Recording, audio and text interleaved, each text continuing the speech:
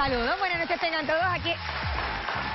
Échate para allá, que ya te pusiste a hablar como si fuera yo y nadie te lo creyó. Buenas noches tengan todos, aquí arrancó Alexandra de noche. Hoy te... ¿A quién le da gracias? A nadie. Hoy nos visita una de las periodistas más inteligentes de este país, como usted lo escucha, la querida amiga Yolanda Vélez Arcelay. Vamos a estar hablando de pintura, Vamos a estar hablando de Bohemia porque alguien me dijo que Yolanda canta, pero no canta con Chencho el de la esquina. Ella hace dúos con Andy Montañez y de eso vamos a estar hablando hoy aquí. Además, Antonio Orozco, él vino una vez y hablamos de los tatuajes, eh, eh, hablamos de muchas cosas de su trayectoria. Hoy yo le tengo algunas cositas que ustedes van a ver porque él está con esto de, que está temblando con la música. Así que yo espero que Yolanda me ayude a, ver cómo, cómo, va a temblar Antonio Orozco esta noche aquí en el programa. Pero Maneco está con la Hot Dog Cam. Esto es nuevo, yo no sabía. De verdad, de reportero. Vamos a ver lo que no tiene Maneco. Ajá, sabrosito, ya estamos. Ajá. Sí, Alejandra, mira, es que estas transmisiones remotas me ponen nervioso, siempre tienen un delay. Gracias a los muchachos de Telemundo, que esa gente se votan, son una maravilla, unos expertos haciendo estas transmisiones desde la Hot Dog Camp. Mira, Alejandra, lo que pasa es que tuve que traer el cajito de todo para acá para buscarme un peso porque la cosa es tan mala y tengo que pagar la luz y el agua y todo, eso gasto, por eso estoy aquí. Pero hice mi trabajo, mi asignación la hice. Conseguí unos videitos ahí porque, mira, le voy a decir una cosa, le voy a dar consejos a la gente, desde, desde aquí, desde esta sesión le voy a dar consejos a la gente. Mira, todos esos muchachos, esos muchachas haría nueva ahora, que comen y no lavan el plato, lo tiran para que otro lo lave. Mire, señor, si usted come, se supone que usted lave su plato. Y si no, mire este ejemplo que le voy a enseñar. Ponme el videito ese, mira. Así es que se hace, caramba. Usted tiene que, después que usted come, lave su plato. Ahí está, mira, mira, mira. Y tiene el hijo en la espalda también. A ella ya hizo 70 veces. ¿Viste ese, Alessandra? Tiene que aprender con esa gente. Vale, Mira, Alejandra, te voy a aconsejar algo también. Escúchame, no hagas ejercicio por esta cajetera que te voy a enseñar porque es un peligro.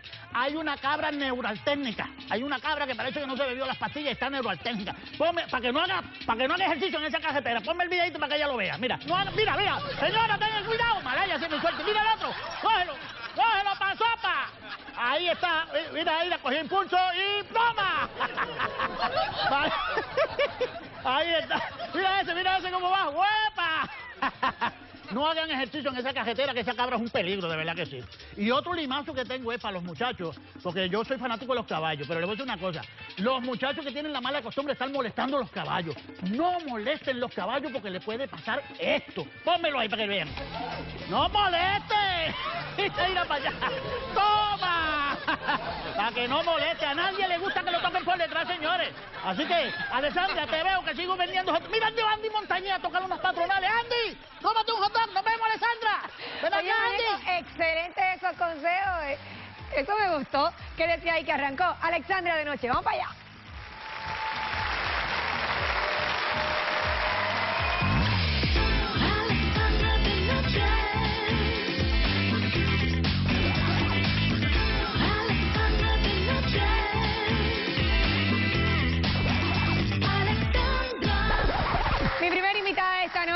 Excelente periodista que tiene un sentido del humor divino y una actitud espectacular. Yolanda Vélez Arcelay, bienvenida. Gracias por estar aquí. Yolanda, adelante. Yolanda, ti te tienen que echar piropito por ahí cuando te ve, ¿verdad? Mira, Yolanda, de lo más guapa. Sí, María, me vino bien. Aquí hacen buenos milagros, ¿sabes? Aquí. Maquillaje. No, no, Yolanda, tú eres una mujer guapísima. hay cosas que yo me vine a enterar sobre ti hace como una semana. ¿Cómo cuál? Bueno, tú tienes una buena amiga extraordinaria que se llama Ivonne Soya. Mi hermanita. Que es mi pana. y me contó, me, contó varias cositas, entre ellas que eres un amante de la pintura y me dice que es eh, que hace cosas espectaculares. bueno, no, lo espectacular depende del ojo del que lo ve, pero a mí me, pues me encanta, me relaja muchísimo pintar y es como nací con cierto, ciertas destrezas, ¿no? De, de dibujo y pintura, pues lo, le doy rienda suelta. Qué bien, y hay una de esas que Ivonne se llevó de tu casa, porque te parecía a ella, ¿verdad? que los amigos son terribles, entran y saquean, pero entonces ella decía que ese cuadro era ella y se lo llevó. Pero no es ese, ese es otro, ese es, Eh. un, este, eso, ese es otro tipo de... No es el que el que tiene ella, lo tiene en la casa. El que tiene ella se parece a Ivonne. Se parece a Ivonne, exacto. Este no se parece a Ivonne, este No, se no, parece no. a quien... Ay, mira qué cosas lindas, Yolanda. Y Gracias. tienes tu casa con muchas pinturas. Pues si tú supieras que tengo más cuadros de amigos, porque es que mis amigos usualmente son, bueno, tengo un buen amigo, un Carmelo sobrino, ¿eh? y alguno que otra cosilla así, de un amigo entrañable que murió hace varios años, que era el Tefo, el Tufiño. Ay, Así sí. que, sí. Qué bueno. Dibujábamos mucho en, en la bombonera. Pero ahora hay que ver si ahora, mira, Yolanda, hazme un cuadrito y una cosa porque están, están bien bonitos. Otra de las Gracias. cosas que, digo, yo sé que a ti te gusta la bohemia y que eres amante Ay, de la buena mío, música. qué mucho chota, pero, Dios mío. Este, yo hablé con Andy Montañé y me dice, vaya va Yolanda, pero si Yolanda y yo hacemos dúo. Y yo, pero ¿cómo es esto? De veras, un par, un par de veces, pero yo he abusado de la amistad, bendito, y de la nobleza de Andy. Un día en un cumpleaños le dije, Andy, vente para acá, hazme la segunda. Y cantamos y nos llevaron la clave y todo, pero bueno, eso era para amigos, para que sufrieran. Los amigos sufren y uno lo, lo abusa de ellos. Y entonces él cantó conmigo y los demás tuvieron que escucharnos. ¿Y cuáles son algunas de esas canciones que, Pues que nada, cuando aparece sabes, Andy? De, de Andy me gusta una que este que eh, casi te envidio, pero no lo voy a cantar. Casi te envidio Sí, porque a mí me encanta, me, encanta. Y nada, me gustan los boleros, me gusta, la, me gusta la música moderna muchísimo también. Me gusta René, me encanta Calle 13, así que de todo. De todo un poco. Y me gusta la ópera, me gusta todo, todo. Yo, la buena música de cualquier lado. Qué bien, hay Mm. esa diversidad está de lo maché y el reggaetón. Pues mira, reggaetón no, todavía no le, he agarrado, pero el ritmo es pegajoso, pero la, la lírica no me gusta mucho. Pero qué bien, qué bien. Mm. Ahí tienes un ahí tienes un buen iPod con toda la música Así que es. te gusta. Oye, Yolanda, mucha gente me habló de la entrevista que concediste a dando candela, particularmente a, a Papo Brenes, y, y lo que me decían era, oye, que las declaraciones que diste allí fueron declaraciones que no sé por qué a lo mejor había personas que no la esperaban, tal vez pensaban que, que iban a ser diferentes, pero que se sorprendieron de, de, de lo bien que manejas el tema y de, y de la forma en que, en que te sientes ahora mismo. Pues mírate, pues que no sé, quizás eh, eh, mi, mi familia, mi papá y mi mamá me han, lo crearon así, eh, de enfrentar las cosas y darle y caminar hacia adelante y no quedarte detenido en lo mismo, ¿no? Eh, yo, pues, Univisión fue una etapa y cuando nos dieron la carta en aquel momento que fue un modo torpe de manejarlo, pero bueno, fuera de eso, ellos se lo perdieron, ahí yo cerré el capítulo y para adelante estamos haciendo proyectos y me siento bien entusiasmada. Tengo proyectos individuales y proyectos colectivos. Y el proyecto colectivo, no sé si tienen, pero yo por ahí están circulando unos tweets. Sí, Sí, los va- a tardar un poquito, pero vamos a hacer algo interesante, el colectivo de, un- de un grupito de pequeño de reporteros, porque hay que empezar en pequeño, porque si no, no podemos movernos mucho, ¿verdad? Sí. Eh, pero estamos en algo interesante. Aquí estamos viendo las fotos que han circulado a través de las redes sociales. Ahí tenemos a Lisa, estás tú, la compañera de Isis Sánchez, Felipe. Weber en no- otra... se había ido ya de, de esa. eh, pero ha sido que nos sentamos a. Siempre que haya una buena taza de café, se puede hacer maravilla. Yo digo que ese es el. O un buen vinito. ¿Eh? en una atmósfera chévere, pero se trabaja y si hay buena compañía se trabaja muy bien. Y somos creativos, esa es parte de. Qué Así bien. que- Desde pequeña eh, te apasionaba el periodismo, Yolanda. Pues mira, me gustaba la arquitectura por la cuestión del diseño, me encantaba la historia porque en mi casa somos amantes de la historia, pero el periodismo no me había dado cuenta que me iba encaminando hacia eso y creo que fue una gran profesión, un gran oficio que me ayudó a, yo diría que yo he crecido con el periodismo, he terminado de criarme, ¿no? Eh, uno no termina de criarse hasta que se muere, ¿saben? Así que yo siempre pienso que el periodismo me permitió una perspectiva, ver las cosas, siempre buscar los dos lados o varios múltiples lados, porque no hay un solo lado, hay múltiples lados de las cosas, de verlas. Y creo que he crecido mucho con eso y seguiré porque como tengo 33 años y mucho más que seguiré en el periodismo, pues ya tú sabes. Pero jamás pensaste que, que este, por ejemplo, este capítulo de Univisión se, se cerraría de la forma en que se cerró. No, no. Muchísimas veces te tocaba ir a una fábrica a cubrir personas que, que se quedaban sin su taller de trabajo y jamás uno pensaría, ¿verdad? No, que no, yo tuve que cubrir lo de la ley 7 particularmente y fue una cosa impactante ver a aquella gente saliendo de sus oficinas en Minilla, todos masivamente. Y fue algo similar, se siente igual, más o menos, pero particularmente yo me imagino que el dolor de los que salen es porque rompen con una familia, porque se trabaja con una familia tantas horas. eh, que uno las echa de menos.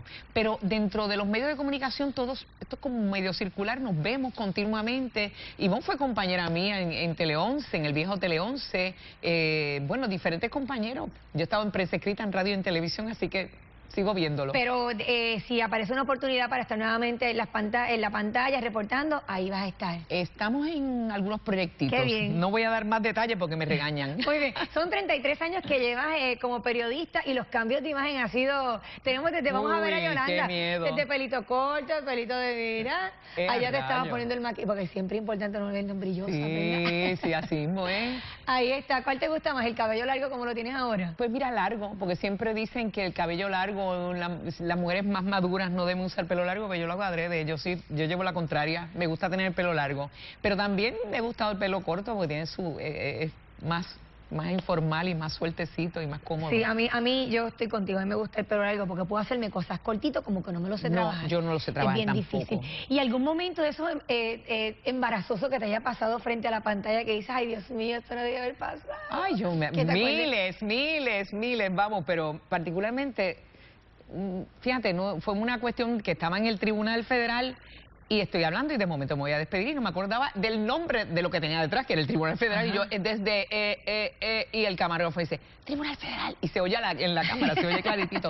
Pero son boberías, ¿no? Sí, son cosas, que, pasan. pasan. Puede que me hayan pasado cosas peores, pero no me acuerdo ahora mismo. Y algo como porque a los periodistas les pasa muchísimas cosas y a veces cuando están reportando que asuntos de tormenta, huracán, Qué todo miedo eso. que tú me tendrás. Vamos a algo como esto que le pasó a este a este periodista Ah. Fue bendito. tan fuerte en este punto de la ciudad que para que tú tengas una idea, mira este poste de luz.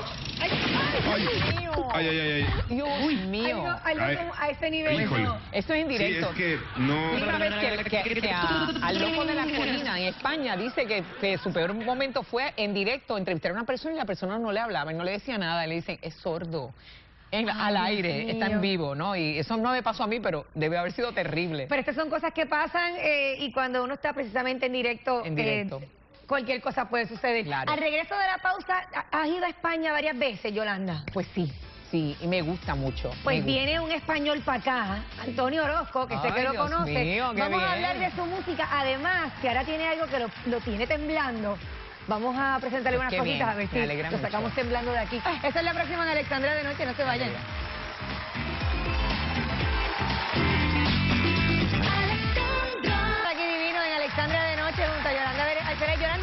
Que la copita de vino y la musiquita de fondo. María, ¿Verdad? Para tener como que ese jangueito, ese flow que nos gusta. pero creo que hay por ahí algo interesante, ¿verdad? Sí, hay algo chévere. Y aquí algo que también diga Placita de Santurce, ¿verdad? que eso es como que... Ah, Puede ser aquí o puede ser la, el- la plaza de la plaza de mercado San Miguel, de San Miguel allá en Madrid. Allá en Ay, pues mira, ya que tú lo pones ahí en bandeja de plata, vamos a recibir a un gran amigo de Puerto Rico. ¿eh? Ella es de la casa, Antonio Orozco. Bienvenido, Antonio.